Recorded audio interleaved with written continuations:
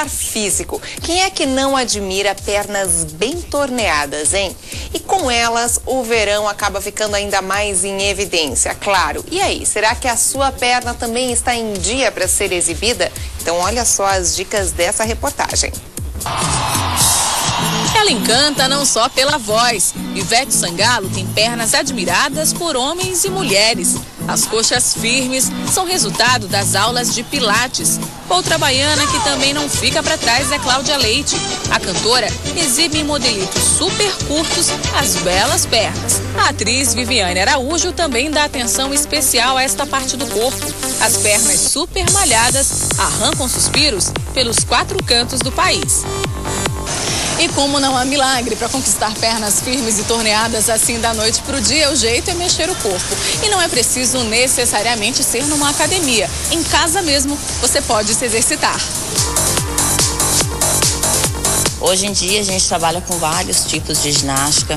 Uma delas é a ginástica funcional, que vai trabalhar a musculatura da tua perna usando como sobrecarga o próprio peso do teu corpo. Então isso já garante uma intensidade um pouco maior para o exercício.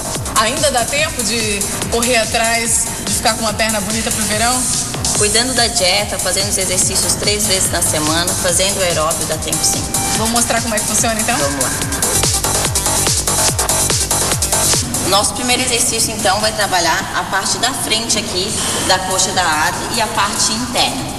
Os principais cuidados que a pessoa vai ter que ter durante o movimento é manter o abdômen em contração, literalmente a região umbilical tem que estar colocada para dentro. E as costas vão ter que estar bem alinhadas. Os braços vão vir na altura dos ombros e ela vai fazer um agachamento em dois tempos.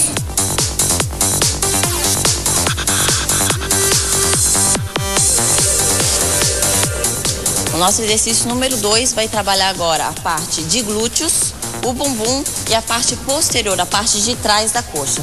Em qualquer coisa que te sirva como apoio, um degrau, um banquinho, tu vai apoiar um dos pés e vai deixar o outro com o calcanhar fora do chão.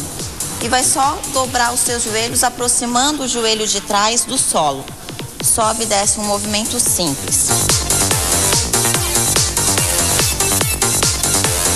O exercício número 3 vai trabalhar novamente a região posterior e a parte lateral do glúteo, que é são os famosos culotes aqui. Deitada no chão, com os pés distanciados mais ou menos pela mesma largura que tu tem entre os teus dois ombros e vai simplesmente elevar o teu quadril, fazendo a contração das tuas nádegas lá em cima e descendo devagar.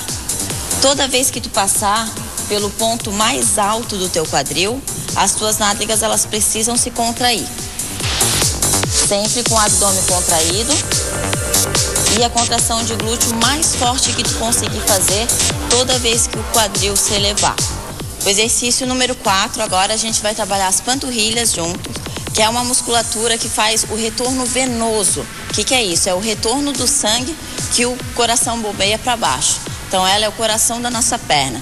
Isso evita varizes, varicoses e qualquer problema circulatório. Ela vai agachar duas vezes, vai subir e vai elevar os calcanhares do solo.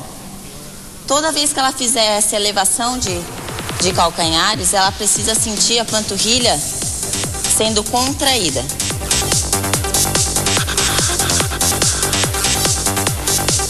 Eu espero que vocês tenham gostado e que experimentem os exercícios que a gente passou para vocês e que qualquer dúvida procurem uma academia com um profissional credenciado para ajudar vocês melhor.